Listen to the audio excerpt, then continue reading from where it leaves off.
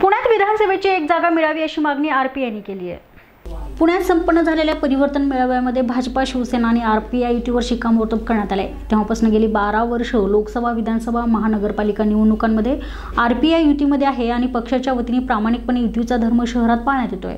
पुण्याचे खासदार निवडून आणण्यामध्ये आर पी आयचाही सिंहाचा वाटा आहे. त्यामुळे विधानसभेच्या निवडणुकीमध्ये एक जागा आर पी आयला मिळावी अशी मागणी यावेळी करण्यात आली आहे. Republican Party of India Pune शहराच्या वतीने आज या ठिकाणी जी पत्रकार परिषद आयोजित केलेली आहे यामध्ये प्रामुख्याने रिपब्लिकन पक्षाच्या वतीने पुणे शहरामध्ये तीन जागेचं सुरुवातीला आम्ही मागणी केली होती.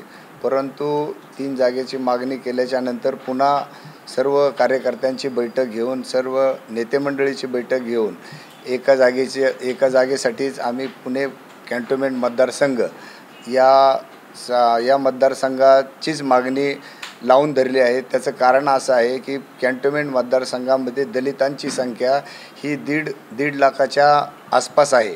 त्या राखीव आणि हा जो मतदारसंघ आहे हा राखीव मतदारसंघ असल्या कारणाने त्या ठिकाणी रिपब्लिकन पक्षाचा जर रिपब्लिकन पक्षाला ही जर जागा जर सोडली तर निश्चितच त्या ठिकाणी एक चांगल्या पद्धतीचा निकाल आम्ही पक्षाच्या वतीने देऊ शकतो.